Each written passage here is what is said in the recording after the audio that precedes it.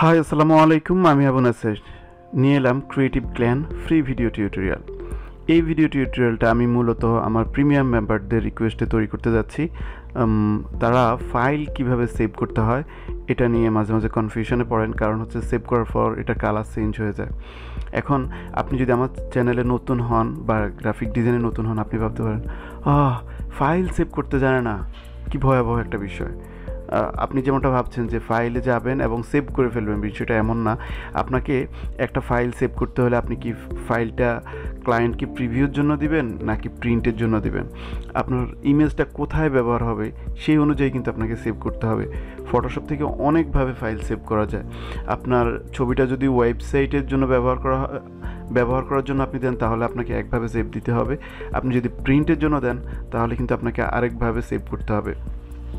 তাহলে আমি প্রথমে আপনাকে দেখাবো কীভাবে প্রিভিউ বা ওয়েবসাইটের জন্য আপনি ছবি সেভ করবেন। এর পরবর্তী স্টেপে আমি দেখাবো কীভাবে প্রিন্টের জন্য আপনি ফাইল সেভ করবেন। তাহলে প্রথমে আমি আপনাদেরকে দেখাবো কীভাবে ক্লায়েন্টকে প্রিভিউ ইমেজ দিবেন বা আপনি ওয়েবসাইটের জন্য যদি কোনো ছবি ডিজাইন করে থাকেন ব্যানার ডিজাইন করে থাকেন, সেটা আপনি কীভাবে সেভ করবেন। ফটোশপ থেকে ফাইল সেভ করার জন্য আপনাকে যদি বলা হয়, তাহলে আপনি প্রথমেই আসবেন ফাইল সেভ অথবা সেভ অ্যাজ সেভ এজে যে আপনি এখান থেকে ড্রপ ডাউন মেনু থেকে সব ধরনের অপশন আছে, এখানে ইপিএস আছে জেপিজি আছে পিডিএফ আছে টিআইএফ আছে, এত ফরম্যাট তাহলে মানে আপনার তো আর কোনো কিছু দরকার হয় না, তাই না? তাহলে আমি যদি ওয়েবসাইটের জন্য ফাইল সেভ করি, আমি কিন্তু এখানকার ফাইল সেভ অ্যাজ অপশনটা ব্যবহার করব না।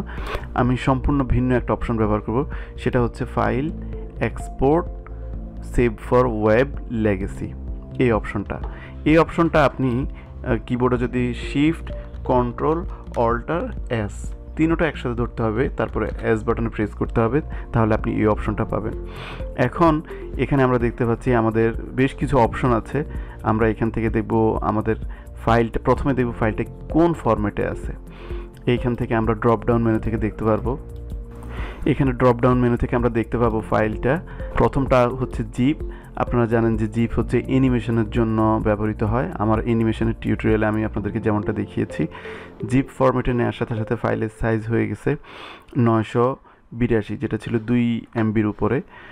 প্রথমে ছিল পিএনজি আপনি দেখুন, এটা হচ্ছে দুই এমবি আচ্ছা প্রথমেই তো আমরা, এটা হচ্ছে প্রিন্ট সাইজ এবং এটা অনেক লার্জ আমরা প্রিভিউর জন্য বা ওয়েবসাইটের জন্য তো অনেক ছোট ইমেজ ব্যবহার করব। সেক্ষেত্রে যেহেতু এটা নয় ইঞ্চ মাপের একটা ডিজাইন আমরা এটাকে অ্যারাউন্ড নয়শো পিক্সেল একটা গ্রাফিক্সের সাইজ দিব, যেটা হচ্ছে রিয়েল লাইফের সাইজের কাছাকাছি। রিয়েল লাইফে অনেকটা এমন হবে ওকে তাহলে এখন আমরা পিএনজি ফরম্যাটে রাখলে ফাইলটার সাইজ দাঁড়াচ্ছে চারশো ষোলো কেবি। এখন আমি এখান থেকে এটাকে জিপ নিয়ে আসি। এটা হয়ে গেল একশত ষাট কিলোবাইট তার মধ্যে এখানে কালার আছে দুইশো ষাট, ছাপ্পান্ন রকমের কালার ব্যবহার করা হয়েছে। এখান থেকে যদি আমি বত্রিশ কালারে নিয়ে আসি, এখান থেকে কিন্তু কিছু কোয়ালিটি লুজ হবে বাট ছবির সাইজ কিন্তু কমে আসবে। এই ফরম্যাটটা বা এখান থেকে সাইজ কমানোর জন্য এই প্রচেষ্টা আমি, আপনি যখন প্রিভিউ বা ওয়েবসাইটের জন্য ইউজ করবেন আপনাকে এখান থেকে প্লে করে দেখতে হবে কোন ফরম্যাটে আপনার কোয়ালিটি কম লুজ হয়। এত কোয়ালিটি যদি লুজ হয়, তাহলে ডিজাইনটা দেখতে ভালো লাগবে না। সেক্ষেত্রে আপনাকে আমরা অন্য অপশন ট্রাই করে দেখতে পারি, যেমন জেপিজি ট্রাই করে দেখতে পারি, এটা হচ্ছে বেস্ট জেপিজি হচ্ছে যেই ডিজাইনের ট্রান্সপারেন্ট না। ট্রান্সপারেন্টের জন্য সবসময় আপনাকে পিএনজি টু ফোর বা চব্বিশ ব্যবহার করতে হবে। আপনার যদি ব্যাকগ্রাউন্ড খালি থাকতে হয়, যেমন আপনারা অনেক সময় লগও দিবেন যেটা ওয়েবসাইটে ব্যবহার করবে, সেক্ষেত্রে আপনাকে অবশ্যই পিএনজি চব্বিশ ব্যবহার করতে হবে। আপনার কোনো আলাদা কোনো চয়েস নেই ওকে আপনি জিপ ব্যবহার করতে পারবেন ট্রান্সপারেন্সির জন্য, কিন্তু কোয়ালিটিটা ভালো হবে না। সেজন্য আপনাকে অবশ্যই পিএনজি টোয়েন্টি ফোর ব্যবহার করতে হবে। সাইজ যদি বেশিও হয় তো আমরা সাইজ সেভ করার জন্য যখন জেপিজি ব্যবহার করব, এখন দেখুন চারশো কেবি থেকে এটা আসছে একশো তেতাল্লিশ কিলোবাইট এটার কোয়ালিটি হচ্ছে পঞ্চান্ন। আপনি যদি কোয়ালিটি বাড়িয়ে দেন, তাহলে এখানে কিন্তু খুব বড় ধরনের পরিবর্তন বোঝা যাবে না ফাইল হয়ে যাচ্ছে চারশো কিলোবাইট আমরা কোয়ালিটি অ্যাট লাস্ট মানে সাধারণভাবে আপনি পঞ্চাশ থেকে ষাটের ভিতরে রাখবেন এবং কোয়ালিটি দেখবেন যে কোনো বিশেষ কোনো পরিবর্তন আপনি লক্ষ্য করবেন না। এভাবে আপনি ওয়েবসাইটের জন্য ইমেজ অপটিমাইজ করতে পারবেন অথবা ক্লায়েন্টকে প্রিভিউ দিতে পারবেন, যাতে করে ক্লায়েন্ট দ্রুত দেখতে পারে এবং আপনি দ্রুত ফাইল সেন্ড করতে পারেন।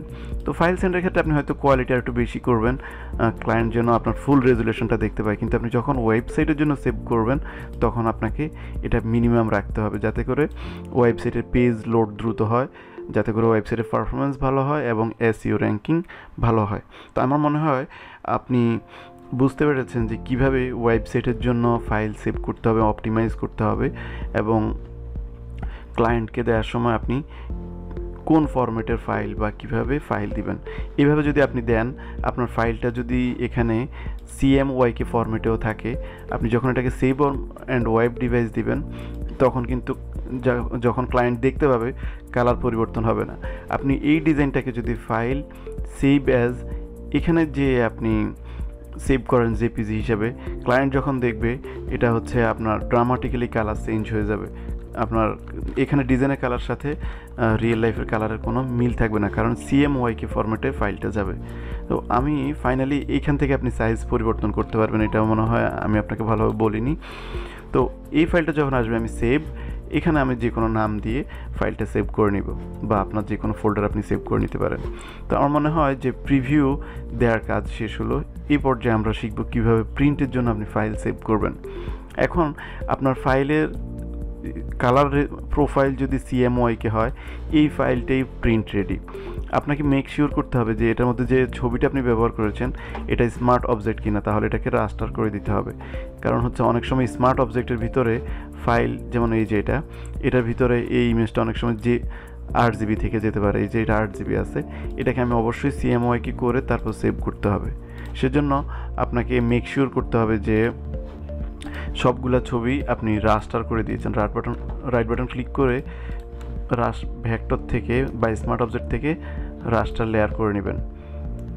রাস্টার লেয়ার যদি আপনি না করেন, আর যখন এটা প্রিন্ট করা হবে কালার হয়তো বা হান্ড্রেড পারসেন্ট অ্যাকুরেট নাও আসতে পারে। তারপর হচ্ছে আপনি ফাইল সেভ সেভ করবেন। আপনি চাইলে ক্লায়েন্টকে পিএইচডিও দিতে পারেন।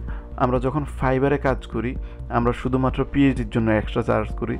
তো সেক্ষেত্রে আমরা প্রিন্টের জন্য বেশিরভাগ ক্লায়েন্ট চাইবে যে তাকে পিডিএফ ফাইল দেওয়ার জন্য।